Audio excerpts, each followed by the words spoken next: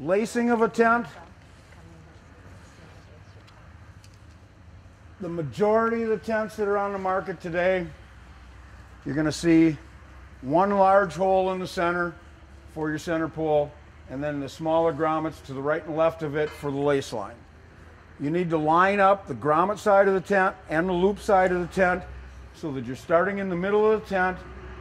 For the most part, all tents will start at the middle and work down, start at the middle and work down.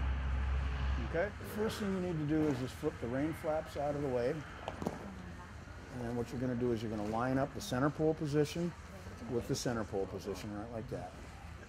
Then you take the first loop, put it through the first grommet. Take the second loop, put it through the second grommet, and then through the first loop like that. And then you're going to pull it back toward you. The next, I'm just going to go right through this third one, and through this rope, and pull it back toward you. Okay? So go ahead and continue running that down. We talked about uh, dropped lace lines. I've been in this business for 30 years. I've seen a number of drop lace lines.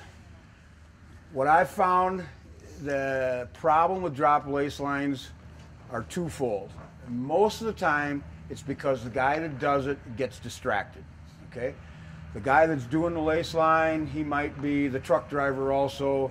He gets called away to move the truck, so he stops where he is. He leaves he comes back. He doesn't pick up exactly where he where he had started or where he had stopped. Uh, the person working across from him is continuing to go, and as you know, when you're lacing, you're constantly pulling on the vinyl. It may have dropped this lace out. He didn't see it. He picks it back up here, and he skips one. You get the pucker inside, or he just skips one completely, and then you have a drop lace line. What we do, if for whatever reason you have to leave this position. Take this loop, attach this loop to one of the rain flap clips, right like that. Okay? Now, I can walk away from this and I can say, you know what, I gotta go move the truck. Thaddeus, would you get in there and finish for me? You know exactly where I stopped. All you have to do is unsnap that snap and you know exactly where I stopped. That will save you a considerable number of drop lines.